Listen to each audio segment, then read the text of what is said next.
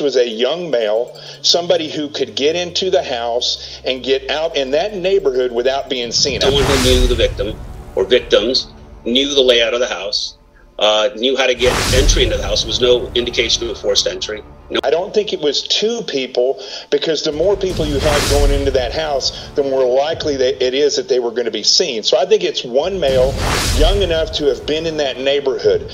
Um, he had to be somewhat confident that.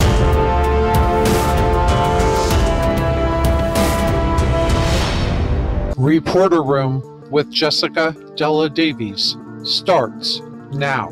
Welcome to Reporter Room. My name is Jessica de la Davies. Today we're going to be talking about the number one clue we all missed in this case. I'm also going to talk about DNA evidence and how long it would take for law enforcement to get this evidence back from the labs. We're also going to talk about the 113 pieces of evidence that law enforcement was able to collect this is all critical information that you will want to have, so please stay with me until the end of the video.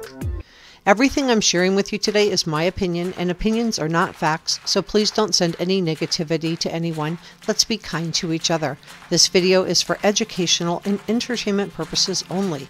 Please subscribe, hit the notification bell so you don't miss a live stream or a new video, and give this video a thumbs up so I know you were here so let's talk about the number one clue we all missed, and then I want to share with you information about the DNA and forensic testing and the 113 pieces of evidence that law enforcement has collected so far.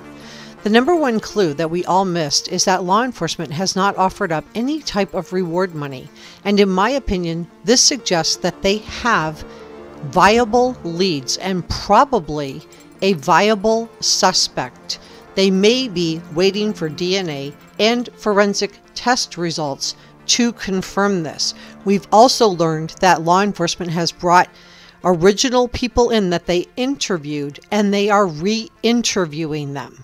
So, this tells us that they are trying to get their ducks lined up in a row. So, what are rewards for?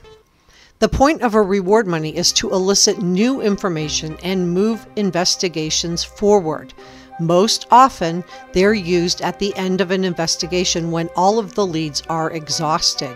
And the fact that a reward has not been offered suggests to me that law enforcement either has a viable lead or a viable person of interest, and they are not nearing the end of their leads.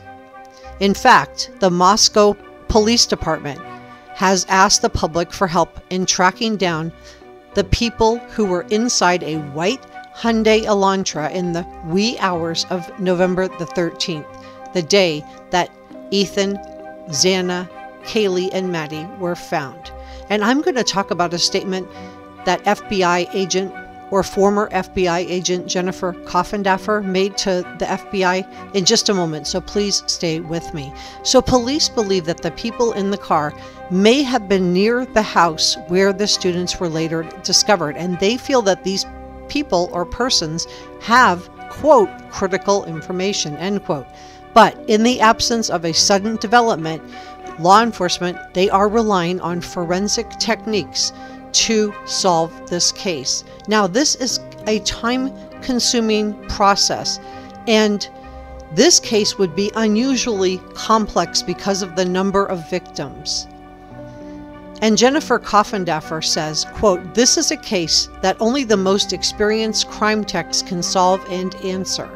Now, she worked for 25 years as an FBI agent and she investigated a variety of different crimes, and she feels like it's, quote, going to take a long, long time, end quote. Now, I'm going to talk about the FBI and 113 pieces of evidence that police and the FBI have collected in just a moment, so please stay with me. But Jennifer Coffindaffer also said uh, to NBC News that the forensic investigation may be complicated by the chaotic nature of the murders and the layout of this particular house where the victims were found.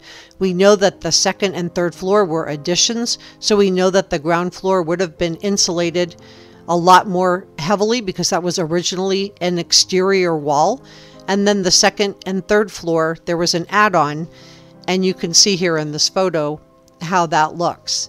Now, collecting and processing hundreds of DNA samples and then looking for a potential suspect's genetic profile can take weeks or even months. And the Moscow Police Department has called the state police and they're also utilizing the FBI.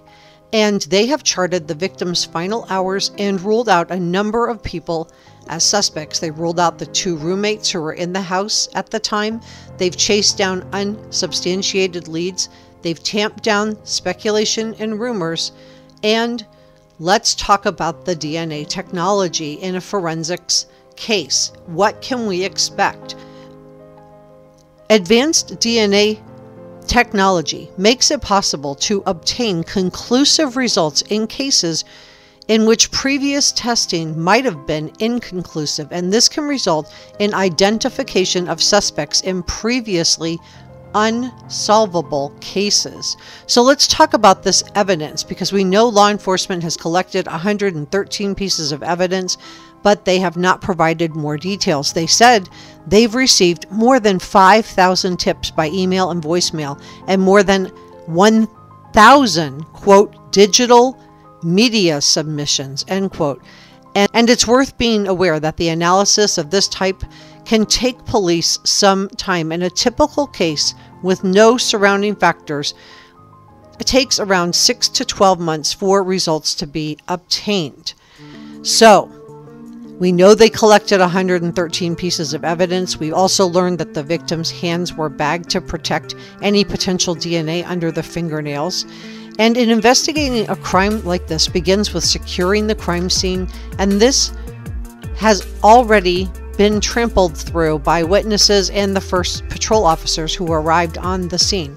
However, investigators did go through and document everything that they saw. They took photographs, they wrote notes, they created 3D scans. Next, they moved through the scene and they swabbed surfaces for DNA and fingerprints.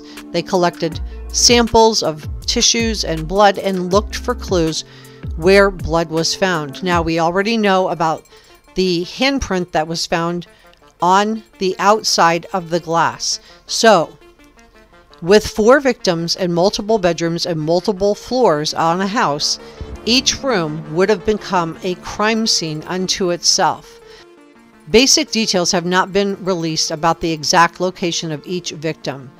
We don't know exactly which order. We think that it was Xana and Ethan first, and then whoever did this moved upstairs to where Kaylee and Maddie were sleeping. Police have not publicly theorized on how the perpetrator entered and exited the home, but we know that there were no signs of forced entry or property damage that would allude to the fact that somebody forced their way into the house. So it is reasonable to assume that either the sliding glass door was popped open or we know the house had a key code somebody had the key code. I want to thank you so much for joining me today. Thanks for watching. See you next time.